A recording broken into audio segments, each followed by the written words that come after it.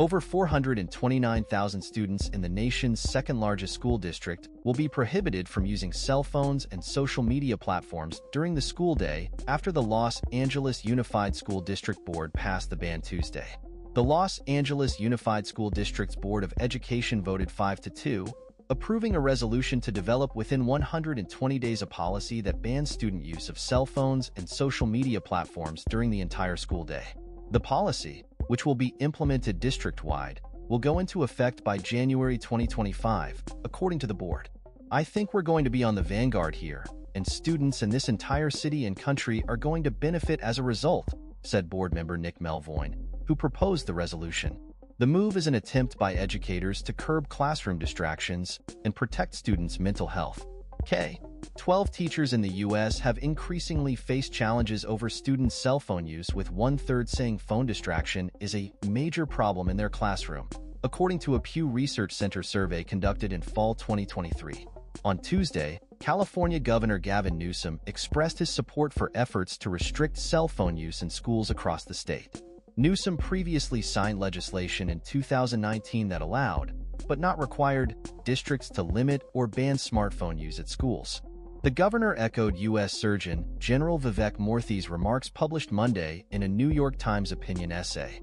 Murthy called for safety warning labels, similar to those on tobacco and alcohol products, on social media platforms, citing what he considers a mental health emergency among young people. As the Surgeon General affirmed, social media is harming the mental health of our youth, Newsom said in a statement Tuesday. Building on legislation I signed in 2019, I look forward to working with the legislature to restrict the use of smartphones during the school day. When children and teens are in school, they should be focused on their studies, not their screens.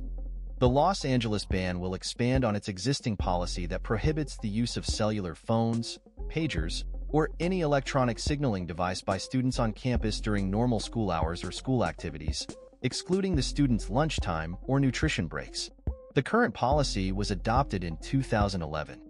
For the updated policy, the Los Angeles Unified School District Board said school officials will have to consider options for cell phone storage, such as locked pouches or lockers during school hours. Officials will also need to consider age and grade level appropriate guidelines, along with what exceptions should be made for students with learning or physical disabilities. The ban has received mixed reactions from school administrators, parents, and students who have noted concerns over student ownership, safety, and communication in enforcing the policy on a wide scale, the Los Angeles Times reported. Board member George McKenna voted against the resolution and cited concerns that the policy would be too restrictive. Board member Scott Schmerelson also voted against the resolution saying it was unclear whether the ban would be implemented during non-instructional time and questioned who would enforce the policy. I think it's going to be a full-time job being the police of the phone, Schmerelson said. Supporters of the ban said a similar policy at a district middle school has improved the campus learning environment, according to the Times. Board members supporting the ban wrote in their agenda that research indicates that limiting cell phone usage and social media access during the school day increases academic performance and has positive effects on student mental health.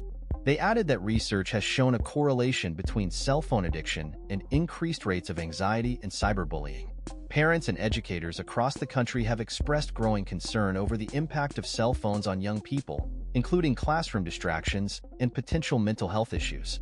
As of the 2021 to 2022 school year, more than 76% of K 12 public schools prohibit cell phone use in non-academic settings, according to the National Center for Education Statistics. But in recent years, lawmakers have considered legislation restricting smartphone use in schools. Last year, Florida became the first state to prohibit student phone use during class time and to block student access to social media on school Wi-Fi. In March, Indiana Governor Eric Holcomb signed a bill prohibiting students from using phones and other wireless devices in classrooms. Ohio Governor Mike DeWine signed a similar bill in May that requires school districts to establish a policy governing cell phone usage during school hours. As of June, lawmakers in at least eight states have considered passing similar legislation, USA Today previously reported.